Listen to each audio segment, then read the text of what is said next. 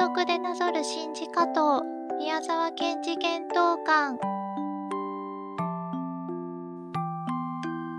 春日井市政80周年を記念して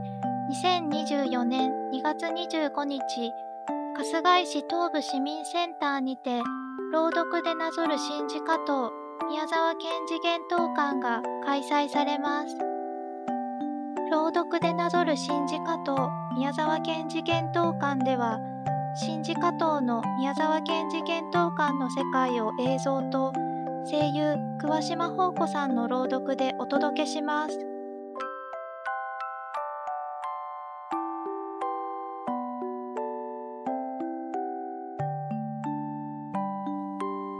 朗読でなぞる新字加藤宮沢賢治幻冬館チケット好評発売中です。